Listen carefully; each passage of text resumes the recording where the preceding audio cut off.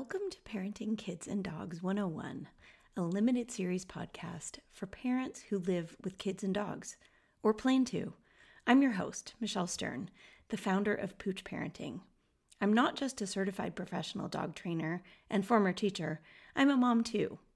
In each episode of this series, I hope you feel like I'm chatting with you, one parent to another, about life with kids and dogs answering common questions my clients ask me, and giving you simple solutions to make your life easier and safer. I hope you'll subscribe and join me for the whole series. And don't forget to grab the accompanying workbook at poochparenting.net slash podcast workbook. Enjoy! In episode 11, I'll be talking about how to help our dogs adjust to routines when they are living with kids or when we are about to have a baby. Dogs living in families with kids are often exposed to somewhat unpredictable routines because we're busy all the time. We're going to work, we're coming home, we're leaving to take our kids to preschool or school or sports practices. And so our dogs need to be a little more flexible than they might have been beforehand. In addition, adding a baby to the family changes everything for a dog, especially when they felt like they were our first baby and our world kind of revolved around them. So, what I will do is break this into two sections. We'll talk a little bit about how to help support our dogs in families that have kids already.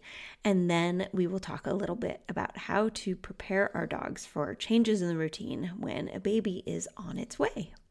I'd like to really start by saying that dogs love predictable patterns and predictable routines. It gives them something that they can rely on.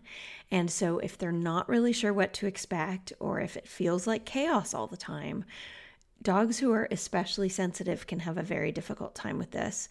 But even our dogs that seem more stable can also struggle.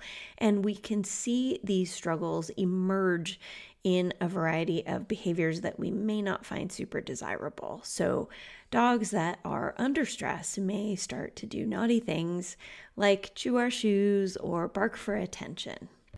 Oftentimes, it can be fairly simple to help our dogs to recalibrate, and that might just mean that we need to set up more clear boundaries and more clear routines and patterns so that the dog again can identify what's going to happen when. Let's set up a scenario where the summer is ending and the kids are going back to school, which may have happened recently for a lot of you. And for some dogs, that sudden change of routine can be pretty tricky because they're used to everybody being home much of the time. So, what I would recommend is that you prepare as much in advance as possible. That could look like you setting out clothes the night before, packing lunches, maybe batch preparing meals so that breakfasts are easy to grab and go.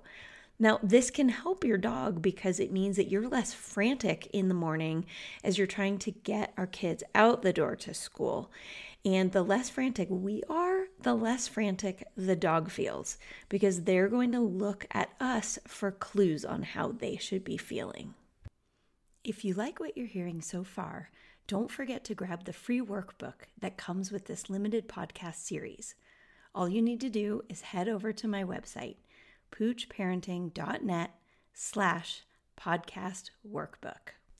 As I sit here with my cup of coffee, I wanted to remind you that there are coffee makers available that you can program them ahead of time and get them all loaded with your coffee grounds and your water in advance and set a timer and it feels like magic in the morning. You wake up to the smell of fresh coffee and it's ready to go for you.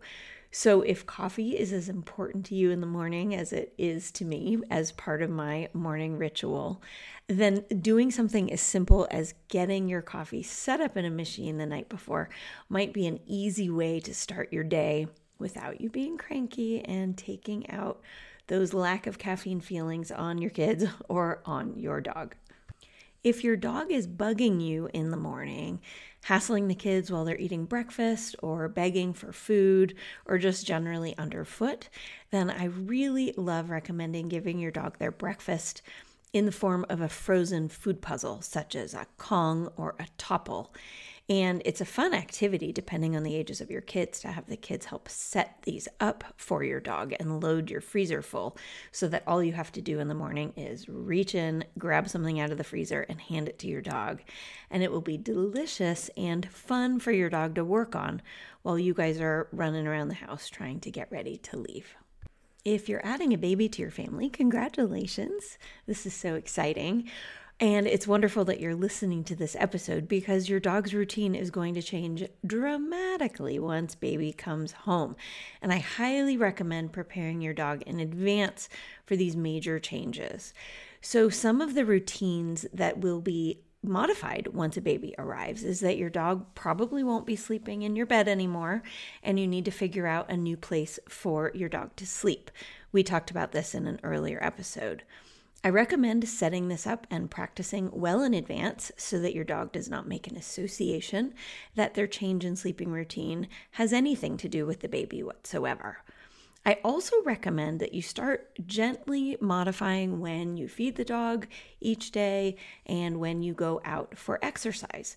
Because as much as we think our dogs are not going to take the back seat when we have a baby, they often do because we cannot lie. We need to really have a, an honest mindset about this that if your baby has a diaper disaster, the dog is not going to take priority. The diaper is going to take priority, and you're going to dive in and get that taken care of before you go take your dog on a walk or get his dinner ready. So, simply modifying the time of day that you feed your dog, breakfast or dinner, just by a few minutes each meal, these can help your dog to be a little bit more flexible. Because if you have a dog who is demand barking at 5:01 p.m. because their dinner is late, that's going to put a crimp in your style and probably make you a little cranky and frustrated with your dog. And it's not really their fault. They have relied on getting their meals at that exact time for a long time up until now. But things are changing, and there's a baby on the scene, so we really need to get the dogs understanding that their routine is going to have to be modified some of the time. It's only natural for questions about our kids and dogs to arise from time to time, especially as our babies grow up and our dogs mature. And if I'm being honest, it's not really worth asking for free advice from friends or even online because you can't rely on the accuracy of the feedback you're getting. If you'd like to learn more about the Pooch Parenting Society, where I offer practical life and science based tips and strategies, ongoing support, and a safe place to share, head on over to safekidsanddogs.com. From one parent to another, I see you, and I promise that you're not alone. Thanks for listening.